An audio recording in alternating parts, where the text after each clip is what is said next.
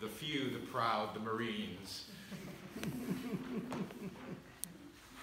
Grace, mercy, and peace are yours from the triune God. Amen. Amen. There's a Zen proverb that says, before enlightenment, chop wood and carry water. After enlightenment, chop wood and carry water.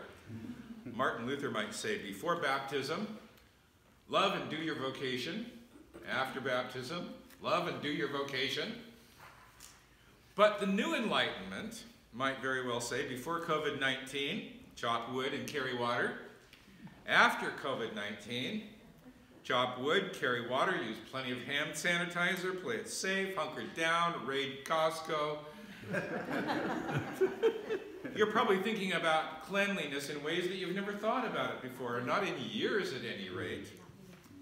At Bishop Jake's recommendation, I read an online article by a woman named Emmy Yang, and the article was entitled, What Martin Luther Teaches About Us About Coronavirus. Faced in his day with a sudden outbreak of the Black Plague, he was asked, Is it okay for me to run away from this? And he decided to give it an answer. This is the gist of it. Luther answers, first of all, that all those with a vocational duty in healthcare should definitely stay on and serve the humans that are diseased and in need. Then he says those whose vocation is ministry, they should remain with the sick and the dying because they are being good shepherds and those who are passing should not be denied the service of communion. After this, Luther says public officials ought to stay on, such as mayors and judges. We need to maintain the public and civic order. Public servants like uh, uh, city-sponsored physicians or police officers, they need to stay on and carry out their professional duties. Even parents have a duty to their children to care and protect and cover them. Where there may be a shortage of healthcare workers, Luther says, that lay citizens without any medical training, they could stay on and provide care for the sick. And that would be an opportunity to minister to Christ himself. Luther defends such public health measures as quarantines and seeking medical attention when it's available, in fact, he proposes to us that we should never, ever, ever act recklessly in all our social interactions with one another. God has gifted us human beings with bodies. And it is a God honoring, worshipful thing for us to take care of our bodies and protect these gifts. Finally, he nails down the really real answer that he was being asked. Is it okay to run away from a diseased city?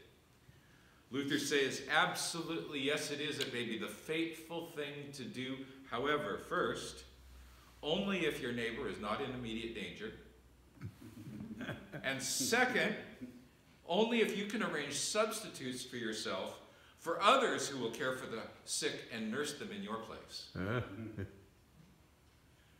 Luther proposes this worshipful paradox. It's honoring to God for us to take care of our physical health and do all the necessary precautions, but it's honoring to God even more to keep an open heart and keep in view those opportunities that come to us to love and to serve our neighbor in the face of danger. As we proceed now through all these unknowns of what's going on in our time and day, we proceed together.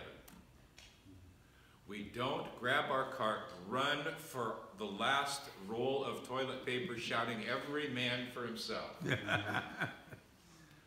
By way of example, Luther himself remained in the plagued city to care for the sick and the dying.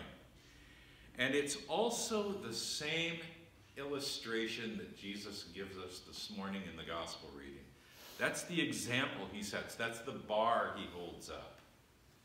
Why is that? Because in Jesus' time, the Samaritans were the, uh, the coronavirus.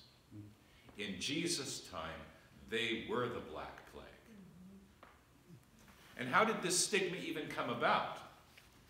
Back in the 700s BCE, when the Assyrians came in and conquered northern Israel, they led into captivity the Israelite people, but then they repatriated the land with their own pagan worshippers.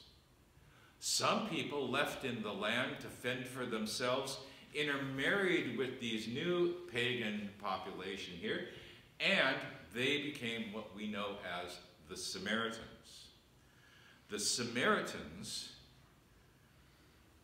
felt like they were, had, um, excuse me, let me say it this way. The Samaritans, as they were called, were of a mixed and impure blood, and they were of, of a mixed religion, though they claimed to be legitimate on both counts. To the first century Jews, the Samaritans were a race that was fearfully despised and socially ostracized. They saw them as claimants to God's kingdom, illegitimate claimants. And you know what the pejorative term is for illegitimate claimants. It was an offense to have any social intercourse with the Samaritans. It was an offense to touch or use one of the same objects that they would use. Remember that the woman says to Jesus, I can't give you any water. You don't even have a bucket. She could not allow him to touch the bucket that she had. It was against their law. It was especially forbidden for a religious master like Jesus to initiate a contact, and all the worse because this Samaritan was a woman. Remember when the Jews called Jesus a Samaritan and a devil? They were leveling at him the very most, uh, uh, what's the word? Offensive. Worst, offensive insult that they could give him. And there was a widely used Jewish proverb that said a piece of bread given by a Samaritan is more unclean than any swine's flesh. Samaritans then were unclean. They were established as wholly unclean. Racially, ritually, permanently, as a people group, they were despised and they were feared like an invading virus. So they needed to be locked down and isolated and quarantined to their own territory, and they were eyed with suspicion and contempt. They were a human disease. Okay, how are you feeling this morning? you know, the news as it comes to us kind of creates this stain, this stamp that comes on our soul. We try not to cave into fear, but that's an incredibly hard temptation to overcome at times. I have a little cough. What does that mean to me? You know, what's going on? I think I have a little cough, or there's a tickle in my throat, or there's a made up tickle in my throat. mm-hmm.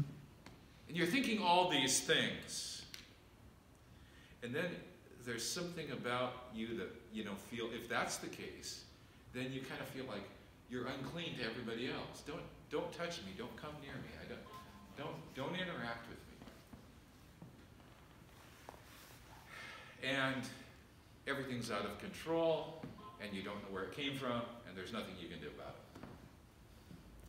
Well, what happens in today's gospel is that the disciples go out to buy some food. They leave Jesus to himself. And one of the locals, of course, the woman comes to fetch the water for herself. And so to, into this infected people, they were infected by the hatred of others, Jesus inserts himself. He finds a way to insert himself. Worn and weary from his travels, he asks a favor. He says, Give me a drink. I'm really struck by the humble neediness and vulnerability that Jesus expresses here at this point. He makes his approach Give me a drink. St. Augustine famously said that you have made us for yourself, O Lord, and our heart is restless until it finds its rest in thee. But turn the tables on that. Here's Jesus saying those words to the Samaritan. I have made you for myself, O mortal woman, and my thirsty heart can only be sated by you. Give me a drink. Think about it the one human on the planet who is God in flesh, is expressing weakness and broken neediness, simply asking, Will you give me a drink? But Jesus has no bucket. He needs her bucket. The only way for him to meet his need and slake his thirst and revive his body and refresh his soul is for him to share from her bucket from her hated, unclean, contaminated Samaritan bucket. He must receive her exactly as she is, and that is just what he does. Hmm. That's when she discovers she is able to carry on this conversation, this continuing honest conversation with God's Messiah, even though shameful truths may be exposed. Come and see a man who told me everything I've ever done. He cannot be the Messiah, can he? Romans 5 8 says that God proves his love for us so that while we were yet sinners, Christ died for us.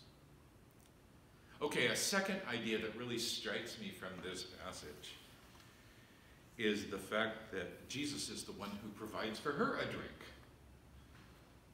And he has no water that he can share. He doesn't have a bucket. But he shares such words of life that are an effervescent fountain springing up from within, and she catches this message that he has to give, and it begins to spring up inside her own heart and soul. He says, The water that I will give you will become in you a fountain of gushing up water to eternal life. so this woman says, Give me this water so that I may never be thirsty, so that I can never have to keep coming here to draw water. And as he doesn't answer that, really, he says, Go find your husband. But as if to provide an answer, I thought of this verse from the book of Revelation where this, it says, The Spirit and the bride say, Come. Let everyone who hears say, Come. Let everyone who's thirsty come. Let everyone who wishes take of the water of life as a free gift. In other words, just come. Because the water that you seek, God's word, is already a free gift for you. If you're feeling strained or extra stressed, if you're feeling unclean on account of anxiety or worry and fear, or you're just feeling contaminated by the six o'clock news, you can remember that God's word is our great heritage and shall be ours forever. What word is that? It's the word by which the Holy Spirit communicates with you to your heart, down in the center of your being down at the point of your need, the word which says, You are forgiven. To you I give you my peace. You are mine forever. You are very holy. You're in the palm of my hand. You are safe beyond measure and for all time, and nothing can separate you from my love. So, Psalm 91 is another example. It's an assurance of God's protection. And so I will close with these words. Please listen and take in these promises for yourself. You who live in the shelter of the Most High, who abide in the shadow of the Almighty, will say to the Lord, You are my fortress, my refuge, my God in whom I trust. for he will deliver you from the snare of the fowler and from the deadly pestilence. He will cover you with his pinions, and under his wings you will find refuge. His faithfulness is a shield and a buckler. Hmm. You will not fear the terror of the night? Or the arrow that flies by day, or the pestilence that stalks in darkness? Or the destruction that wastes at the noonday? A thousand may fall at your side, ten thousand at your right hand, but it will not come near you. You will only look with your eyes and see the punishment of the wicked. Because you have made the Lord your refuge, the Most High your dwelling place. No evil shall befall you. No scourge shall come near your tent, for he will command his angels concerning you to guard you on all your ways. On their hands they will bear you up, so that you will not dash your foot against a stone. You will tread on the lion and the adder, the young lion and the serpent. You will trample underfoot. Those who love me I will deliver. I will protect those who know my name. When they call to me, I will answer them. I will be that with them in trouble. I will rescue them and honor them. With long life, I will satisfy them and show them my salvation. May the Lord add his blessing to the reading of the word. Amen.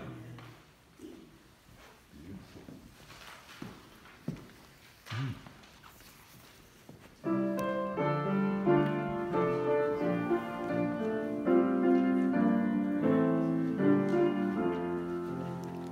Are you thirsty?